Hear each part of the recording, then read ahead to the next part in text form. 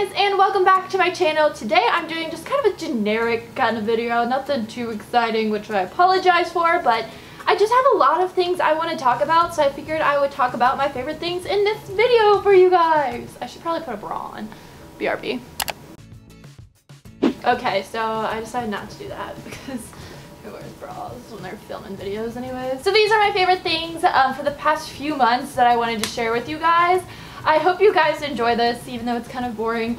I guess, I don't know if you guys even like favorite videos. But if you do like to see these occasionally, give this video a big thumbs up and also stick around by subscribing to my channel. I know I say that in every video, but you should do it. Without making this video intro too long, let's just go ahead and talk about my favorite things. Oh, so I guess this can be one of my favorites. I actually got a job. What? I know. So I actually am working at Free People now, which is really, really cool. I wanted to try something new, you know? Like, I film obviously a lot, but it doesn't take up a majority of my time. And I just wanted kind of a reason to leave the apartment for like four hours and so I work at Free People now which is really really cool and exciting so I hope you guys are excited for me which means you're probably gonna see a lot of hauls. How do you not shop when you work at Free People? I only work like once a week but still cool. My next favorite item, I don't even think I've shown on my channel yet, and it is this Louis Vuitton MM Agenda, and I got this pre-loved from a resale website. I got this from therealreal.com and they had like 20% off and so I ended up getting it for like $300 which is still very expensive but if you guys are obsessed with agendas like I am this thing is so cool. It's, it literally makes me so excited to write in it every single day and I actually got these inserts from Life is Crafted Right? It's amazing. I love it. If you guys want to see a more thorough, is that the right word, review or whatever on this, let me know in the comments below. I guess I have to say my new bag too. I got this about three, four weeks ago,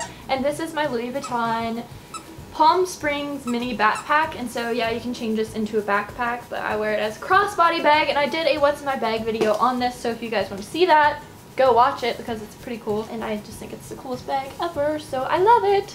Right Miller?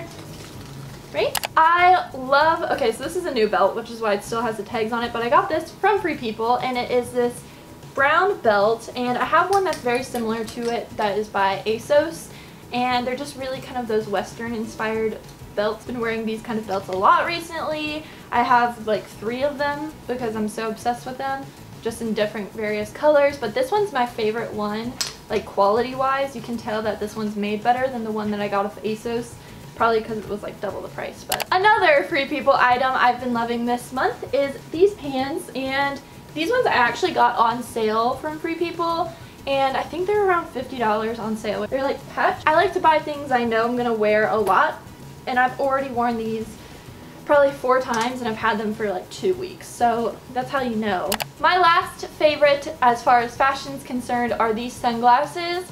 These I actually purchased off of Rue La La recently and they're just the circle framed ones from Ray-Ban. These are the red ones, like the red maroon.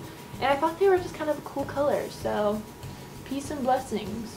I come in peace. If you part your hair in down the middle, you kind of look like John Lennon when you wear these. As far as beauty is concerned, I have two favorites. The first one is this mask. This is a Balsa, I think is how it's pronounced, bright white mask, and it's a peel-off mask, which these are so much fun. You might have seen this Instagram of me wearing this mask, but it's seriously the best. And it's just like one of those ones that you put on, you put on like a thicker amount on your face or else you can't peel it off and you let it sit for like 20 minutes till it's dry. And this one is supposed to help with hyperpigmentation, which I have Unfortunately, I'm using it for a few months now and I think it's just really amazing. And then I have the It's a 10 Miracle Leave-In product and this was just like a little sample that I got from Ulta one day when I was spending a lot. I think this thing does so much for your hair. I put it in my hair when I'm blow drying it on the ends because when you grow out your hair, your hair does get fried towards the ends.